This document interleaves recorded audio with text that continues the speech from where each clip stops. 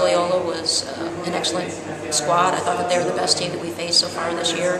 Um, Fresno State was a very, very good team as well, but they relied so much on the three. It was a little bit easier to defend than uh, the great inside-outside attack that Loyola had tonight. Um, I just felt like we didn't have enough scores. We definitely didn't have an inside attack that we needed in this game, but defensively is where I felt like uh, we were very poor tonight, and uh, we need to really pick that up in order to compete with any of our opponents. Uh, it doesn't get any easier than uh, down the road, so you know we got a lot of work to do. You have a uh, quick turnaround and you head off uh, to the Midwest to play Illinois. Um, what do you expect out of that team? Well, I haven't seen any tape yet of them, so uh, I do expect them to be very athletic, maybe even bigger and more athletic than the Loyola Marymount team that we faced tonight.